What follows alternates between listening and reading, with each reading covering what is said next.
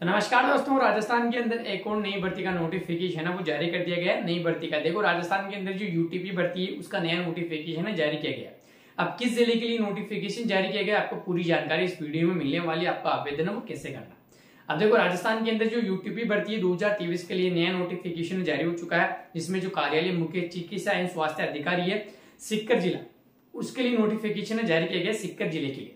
अब देखो, आवेदन है वो ऑनलाइन रखे गए जो भी स्टूडेंट फॉर्म भरना चाहता है, वो ऑनलाइन आवेदन कर सकता है। आवेदन है, वो भी शुरू हो चुकी है, जिसमें गुणियासी पदों के लिए नोटिफिकेशन जारी किया गया सेवेंटी नाइन पदों के लिए। अब देखो, इसमें जो, इसमें अलग अलग पद है, वो रखे गए, जिसमें फार्मासिस्ट होता है लैब टेक्नीशियन होता है साइक रेडियोग्राफर होता है, वो अलग अलग पद रखेगी उसकी जानकारी मैं आपको बोर्ड की स्क्रीन के ऊपर बताऊँगा तो वीडियो को आप आखिर तक देखना। अब हमारे बोर्ड की स्क्रीन के ऊपर चलते हैं, जो भी यूटीपी भर्ती का नोटिफिकेशन जारी किया गया इसमें कौन अप्लाई कर सकता है, शैक्षणिक योग्यता। यानी क्वालिफिकेशन वो क्या रखी गई है? आयु सीमा वो क्या मांगी गई है? और आपकी एप्लीकेशन फ़ीस वो कितनी लगेगी? और आपका सिलेक्शन प्रोसेस वो कैसे होगा? अब हमारे बोर्ड की स्क्रीन के ऊपर चलते हैं, आपको पूरी जानकारी बताता हूँ। यहाँ बोर्ड की स्क्रीन के ऊपर देखो, राजस्थान के अंदर जो यूट्यूब रिक्रूटमेंट है, उसकी जानकारी आपको इस वीडियो में मिलने वाली है। नया नोटिफिकेशन है, वो जारी कर दिया गया है।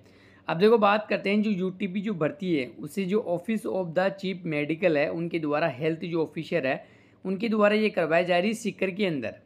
जो सिक्कर जिला है राजस्थान के अंदर, उसके लिए नोटिफिकेशन है, वो जारी किया गया है। इसमें जो पोस्ट रखी गई है फार्मासिस्ट होता है लैब टेक्नीशियन होता है एंड असिस्टेंट होता है रेडियोग्राफर उनके पदों के लिए नोटिफिकेशन है, वो जारी किया गया है। अब आगे बात करते हैं, देखो इसमें टोटल वैकेंसी है, जो पोस्ट है, वो कितनी रखी गई है? टोटल इसमें जो पोस्ट है, वो सेवेंटी नाइन इसमें पोस्ट है, वो रखी गई है जॉब लोकेशन है राजस्थान। राजस्थान में जो सिक्कर जिला उसके लिए नोटिफिकेशन है, वो जारी किया गया है सेवेंटी नाइन पोस्टों के लिए। अब देखो इसमें इनके फोरम है, वो कब से स्टार्ट है? देखो, फोरम है, शुरू हो चुके हैं, जो भी फोरम फिल करना चाहता है यू टी जो भर्ती है उसके लिए तो फोरम है चौदह सितंबर से शुरू हो चुके हैं, और लास्ट डेट है अट्ठारह सितंबर तक आप आवेदन कर सकते हैं। इसमें देखो, आपकी मेरिट लिस्ट है, वो अभी अपडेट शो मेरिट लिस्ट की जानकारी नहीं दे रखी है मेरिट लिस्ट कब जारी की जाएगी नोटिफिकेशन में। अब जो भी स्टूडेंट फॉर्म फिल करना चाहता है, वो फॉर्म भर सकता है, चौदह सितंबर से आवेदन है, वो शुरू हो चुके हैं। अब आगे बात करते हैं, देखो इसमें आपकी एप्लीकेशन फ़ीस है, वो कितनी लगेगी फॉर्म फिल करने के लिए?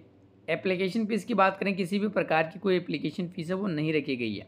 चाहे जनरल स्टूडेंट हो या O B C E W S category का हो या एस एस टी कैटेगरी या पी डब्ल्यू डी कैटेगरी किसी भी कैटेगरी का स्टूडेंट है, कोई एप्लीकेशन फ़ीस वो नहीं रखी गई है।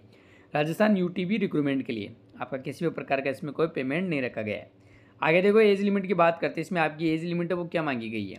एज लिमिट की बात करते हैं सीकर यू टी भर्ती दो हज़ार तेईस के लिए जो न्यूनतम आयु है, आपकी अठारह वर्ष और अधिकतम चालीस वर्ष होनी चाहिए। अठारह से चालीस वर्ष इसमें आयु सीमा वो रखी गई है। इस भर्ती में आयु की गणना होगी आपकी एक जुलाई 2023 को आधार मानकर की जाएगी। अभ्यर्थी आयु सीमा की विस्तृत जानकारी नोटिफिकेशन है उससे भी जानकारी ले सकता है।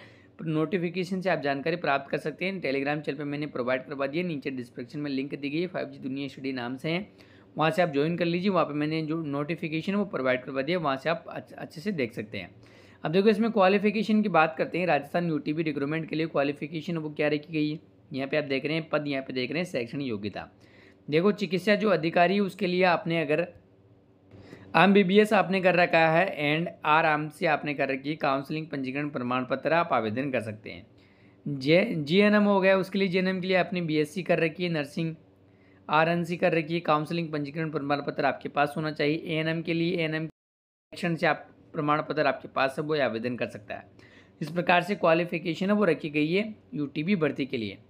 अब देखो, राजस्थान यूटीपी रिक्रूटमेंट के लिए डॉक्यूमेंट्स वो किस प्रकार से इसमें मांगी गई? डॉक्यूमेंट्स की बात करते हैं। देखो, आधार कार्ड होना चाहिए विद्यार्थी का, दसवीं, बारहवीं की मार्कशीट होनी चाहिए मोबाइल नंबर ईमेल आईडी और अभ्यर्थी का फ़ोटो और सिग्नेचर जाति प्रमाण पत्र मोबाइल नंबर ईमेल आईडी होनी चाहिए और आपने ग्रेजुएट किया है, जो भी पोस्ट से संबंधित आपके पास सर्टिफिकेट है डॉक्यूमेंट्स है, वो मार्कशीट होनी चाहिए, तभी आप इसके लिए फॉर्म वो फिल कर सकते हैं राजस्थान यूटीबी रिक्रूटमेंट के लिए।